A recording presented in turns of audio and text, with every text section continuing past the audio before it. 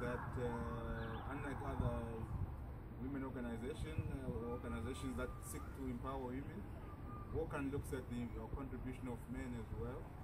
and we appreciate that very much. Working with WOCAN has allowed me to engage with women issues uh, much more strongly and strategically.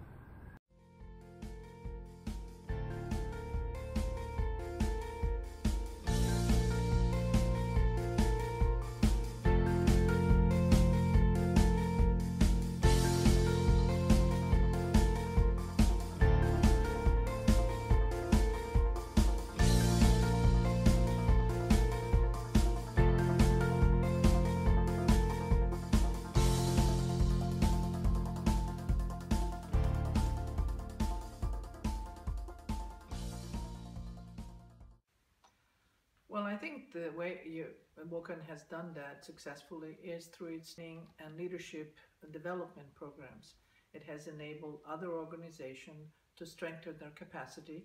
to focus on gender issue, to be able to deal more effectively with uh, issues that impact on, on the ground for uh, their constituency.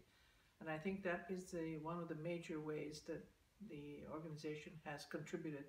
to organizational change, organizational development, enabled other institutions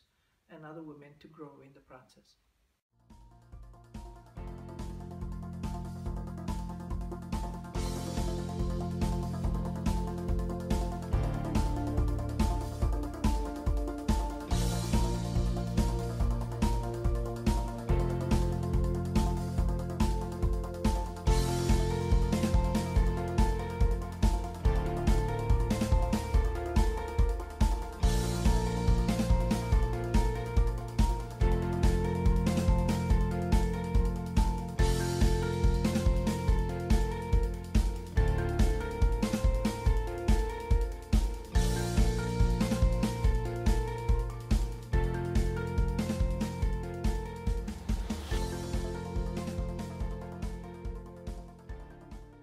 So what's been really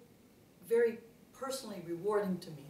is to see that other women leaders, for example, or potential leaders, are able to particularly realize that potential uh, and have that, perhaps that aha moment within, particularly within our leadership training course, when it all comes together for them and they start to understand that the difficulties and the frustrations they faced in their work are not necessarily because they are themselves not strong individuals or not capable of doing the job, but rather institutions and cultures have really uh, been formed in a way that really makes it very, very difficult for women in these positions. So I think the realization of this systemic uh, discrimination or, or factors that limit people's growth potential um, is a very empowering moment. So that's been very wonderful.